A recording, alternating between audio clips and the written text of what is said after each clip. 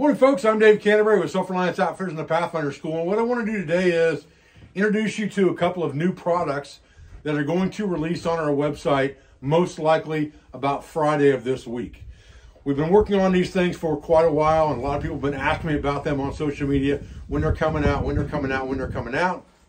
Now's the time. So, the first one, and this one is a co branded product. This is a 10 inch camp skillet. It is exactly like the 8 inch skillet as far as the design features go with the locking handle that folds underneath the skillet.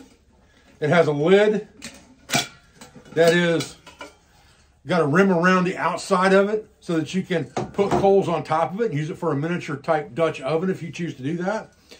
And it has a double bottom on it so that it dissipates heat well.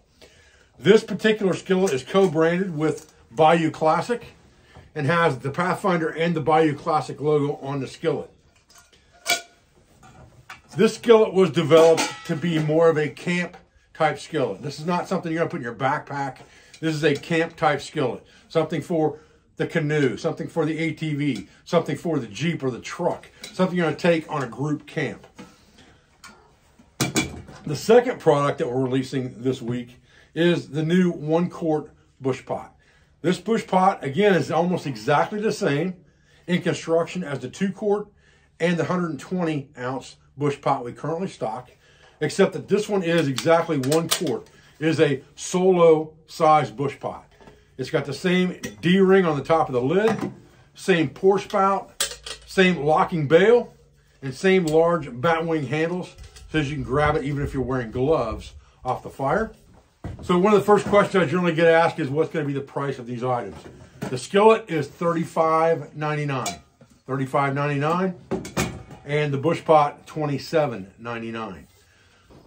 All right, so I got my brand new skillet. Now what do I do? Food sticks to stainless steel, right? If you're cooking it wrong, it definitely will.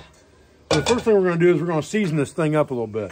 So we're gonna put it over some heat and we're gonna put some oil in here.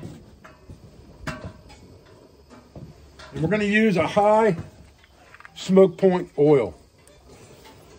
What I've got here is grapeseed oil. And I'm just gonna put enough in here to kind of coat the bottom of the pan really good. I'm not gonna overdo it. Now, we're gonna let that heat up. We're gonna roll that oil around in the pan as it's heating up. And we're gonna let it get till it starts to smoke, but we're not gonna let it burn. And we're just gonna roll it around that pan as we go and coat that stainless steel with that oil. And this is gonna give us an initial seasoning. They cook with stainless steel all over the world in professional restaurants. You can cook in stainless steel without burning food or without food sticking. You just have to understand how to do it.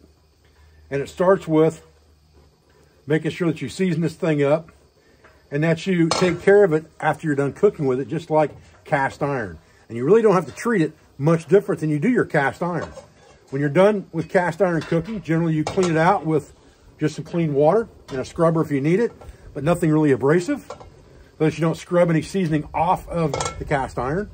And then you oil it again before you put it away. We're gonna do the same thing with this when we're done cooking in it.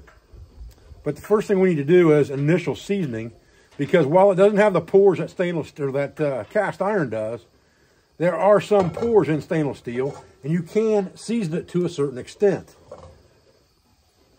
You are going to have to use oil of some kind when cooking in stainless steel for the most part, but you don't have to use a lot of oil. It's not like you got to carry a ton of oil with you in camp if you're going to camp in stainless steel, if you're going to cook in stainless steel. You just have to carry a little bit with you depending on what you want to cook. We're going to cook a good old egg in here in a few minutes. And I'm going to show you how easy it is to cook an egg in stainless steel without sticking it or burning it. Now once we've got this oil to the smoke point, we're going to roll it around here again for a minute. We're to dump out the excess. And then we're going to turn the heat off and let the skillet completely cool down.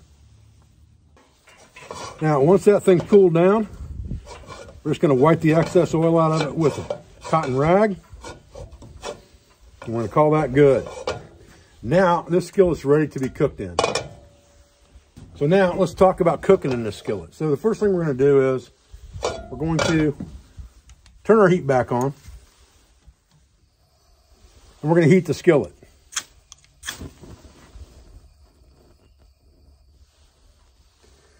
And it doesn't have to be a real high heat.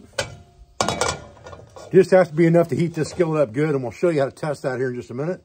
And then whatever we're going to cook in here, we want to temper the food. We want the food to be room temperature. It's not something you want to take out of a cooler and throw it in here or something out of an ice box and throw it in here. We want it to be room temperature when we start to cook it.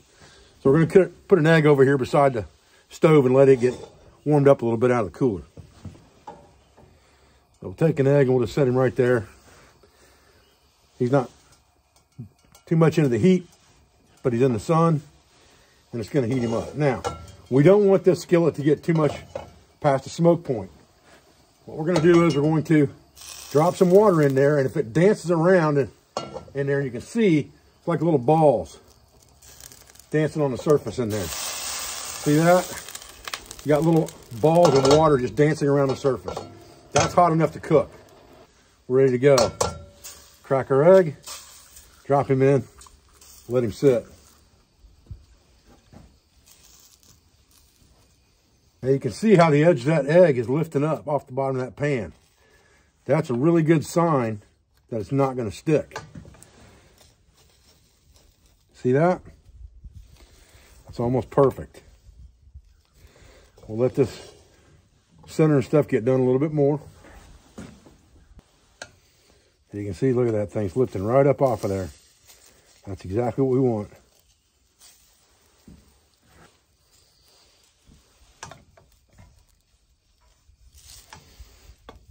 There we go, look at that.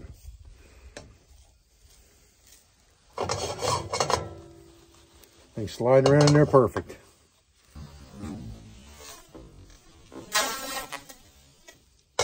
Flip that dude over. There we go, look at that. Perfectly cooked egg. Nothing burnt. Got a little on the edge here where I flipped it over. Other than that, no sticking. Now, what do we do here? Okay. Now, while that thing's on the heat, I'm gonna put some water in here. That's called glazing the skillet, really, all right?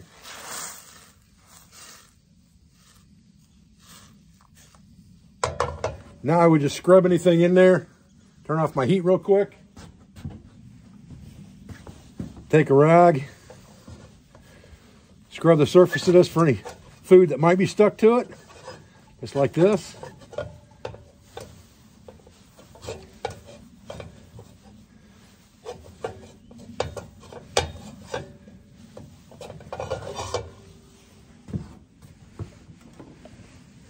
Drop a little oil in there again.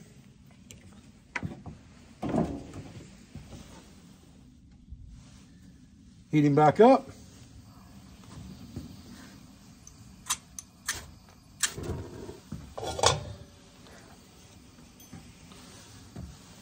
Roll the oil around inside there, just like we did the first time. Get it up to the smoke point, shut her down, wipe it out, be ready to cook in again. Now you can see that kind of bronze look it's getting on the inside now. Now you're starting to build up a seasoning on that stainless steel skillet. And you continue to do that, just like cast iron. And over time, the whole bottom of that skillet is going to be that bronze color. And that thing is going to be perfect. Now, this bush pot is not large enough in diameter to fit an isobutane tank. However, the way I've got mine set up, I have six tins in here for spices, coffee, sugar, creamer, and so on. And that leaves a gap in the center of the pot. So you could also put a seventh one there if you wanted to.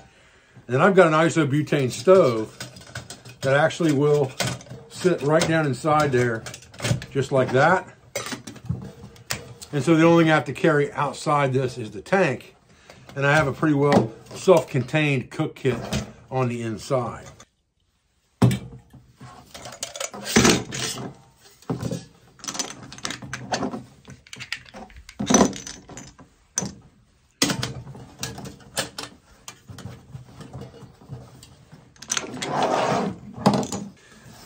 one quart bush pot is the perfect setup to carry Pathfinder alcohol stove.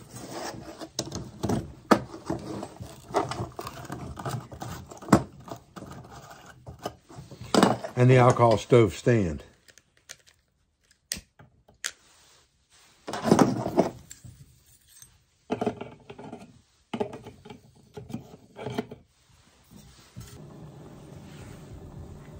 All right. You go. Got a good rolling boil there. And those handles are not hot at all. To lift that off the fire. I'm gonna go ahead and set it on top of this since we got a plastic table we're working with here. Alcohol stove still burning bright. Just grab that dude off of there. Drop our simmer ring and snuff it out. Set that on top to cool for a minute. Guys, listen, I appreciate you joining me today out here for a quick look at a couple new products coming to the selfrelianceoutfitters.com website on Friday. I'm a little busy right now. This is my busiest time of year. I got classes almost back to back every weekend. Trips I have to do for business in between and then class prep as well. So the videos aren't coming as fast as I'd like them to come. I will give you some information on the ATV video that we shot last.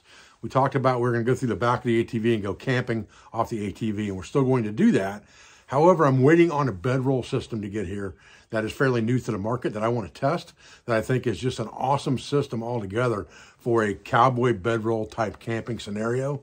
And that's what I like to do the most. So I like sleeping on the ground. I like sleeping on the bedroll. And this thing is a self-contained bedroll. I'll talk to you more about that in a video shortly to come, probably the next couple of weeks or so on that.